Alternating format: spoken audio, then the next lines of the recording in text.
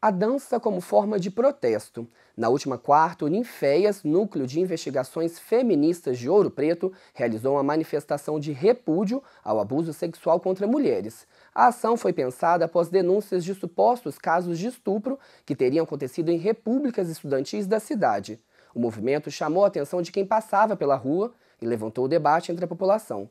Veja na reportagem. O grupo se concentrou na Praça da Estação, a música e a dança foram usadas como forma de protesto contra a violência sofrida pela mulher. A manifestação foi puxada após denúncias na imprensa de supostos casos de abuso sexual que teriam acontecido em repúblicas de Ouro Preto. A ideia é tornar pública, tornar públicos esses acontecimentos dentro das casas federais, ao mesmo tempo é, conclamar as mulheres a fazerem a denúncia né, oficial no Ministério Público, na polícia, para que esses criminosos possam ser punidos. Né, e, em último lugar, nos colocar como um grupo de apoio, caso elas necessitem né, desse apoio para fazer a denúncia. Durante a manifestação, um varal com depoimentos de vítimas de estupro foi montado num ponto de ônibus da praça.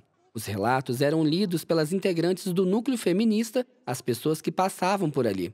Além disso, uma caixa ficou à disposição para que mulheres que sofreram abusos pudessem contar sua história e pedir ajuda. Violência, independente de ser dentro da República ou fora da República, eu acho assim que a sociedade ela tem que apoiar essas pessoas ou essas mulheres que sofreram esse abuso de uma maneira direta e indireta. Eu acho que o movimento é válido, eu acho que a gente tem que lutar mesmo com essa violência contra as mulheres, denunciar. Eu acredito que nada foi comprovado, as, as coisas precisam ser comprovadas para que as coisas se resolvam, sejam relacionadas da melhor forma. E acho que esses atos aqui eles chamam atenção um pouco para isso, né? Existem casos de abuso dentro das repúblicas, porque, enfim, não imagino que não só dentro das repúblicas, mas né, em outras esferas também, porque o machismo é uma coisa que está muito forte ainda no, no, na nossa sociedade. Para a Associação das Repúblicas Federais de Ouro Preto, esses abusos não existiram, pois não há um boletim de ocorrência que comprove que houve vítimas e agressores.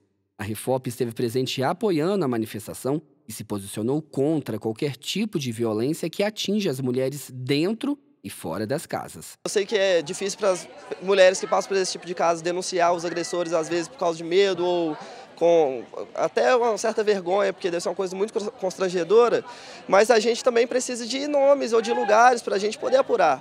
A gente não, não pode ficar só nos supostos agressores ou supostos locais, a gente tem que ter coisas concretas para a gente poder investigar e poder tirar essas pessoas, se elas moram em república, para elas não morarem mais em república e ir para cadeia. No fim da tarde, o grupo de cerca de 30 pessoas caminhou até a reitoria para entregar uma carta à administração da UFOP. No texto, eles pedem que a universidade se manifeste publicamente sobre o assunto e se colocam à disposição para dialogar. Segundo a vice-reitora Célia Fernandes Nunes, a UFOP tem conhecimento das denúncias e já está tomando medidas preventivas. A nossa administração né, repudia qualquer tipo de ação que seja violência aos direitos humanos, no caso aí das mulheres. É um movimento muito legítimo, inclusive ele vem nos ajudar né, a trazer esse, essa temática né, para a pauta. A universidade desde, é, tem acompanhado, junto à Pró-Reitoria de Assuntos Comunitários, através das ações, pensando em, coletivamente como que a gente pode estar intervindo. De acordo com a vice-reitora, a universidade está aberta ao diálogo. Ela propõe ações em conjunto no combate à violência contra a mulher.